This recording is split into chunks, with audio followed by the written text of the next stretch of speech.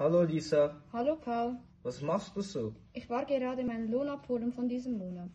Ah, okay. Wie viel verdienst du denn? 4300 Franken im Monat. Ich arbeite ja im Detailhandel. Und du? Hä? Ich bekomme 4600 Franken im Monat und arbeite auch im Detailhandel. Wieso ist das eigentlich so? Eine Frau verdient viel weniger, weil eine Frau jederzeit schwanger werden kann, Männer mehr Geld brauchen für die Familie und es kommt ebenfalls auf die Berufsbranche an. Ein Mann hat mehr Zeit für seinen Beruf als eine Frau. Frauen kümmern sich im Schnitt mehr um die Familie als Männer.